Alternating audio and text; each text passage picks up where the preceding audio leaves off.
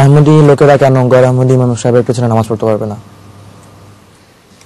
Your Bangla হ্যাঁ জি When did you come here to England? Um, before one and a half year. So you have a student? Yeah. Very good. Uh, Huzur, his question is um, why Ahmadis do not say their pray prayers behind other non-Ahmadi Imams? It's very simple. I have repeatedly answered this question. You see, if mullah, an ordinary imam, is inquired from who made you the imam, did Allah appoint you as imam? He would say, no, people have made me imam.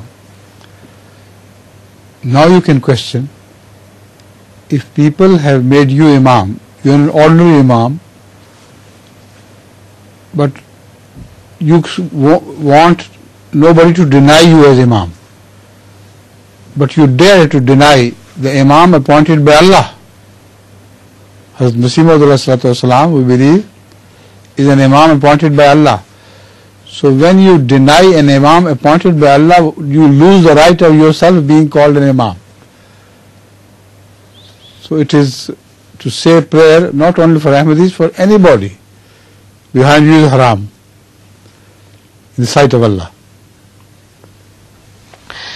প্রশ্নটি স্পষ্ট ছিল। হজরত আমিরুল মোমিনিন আইয়াদাহুল্লাহ তালা আজিজ বলেন যে এটি খুব, এর উত্তর খুব সহজ। আর এই প্রশ্নের আমি বারবার উত্তর দিয়েছি।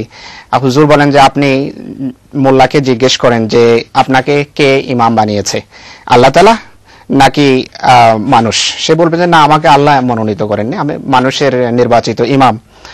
তার অর্থ হলো তাকে বলা যায় যে আপনি একজন সাধারণ মানুষ, সাধারণ একজন ইমাম। আর একজন সাধারণ ইমাম হওয়া সত্ত্বেও আপনি এটা পছন্দ করেন না যে আপনার ইমামতিকে কেউ অস্বীকার করুক বা অমান্য করুক বা আপনার ইচ্ছার বিরুদ্ধে কেউ যাক। অথচ আপনি নিজে খোদা মনোনীত খোদার পক্ষ থেকে প্রেরিত এক ইমামকে অস্বীকার করার, অমান্য করার ধৃষ্টতা দেখাচ্ছেন।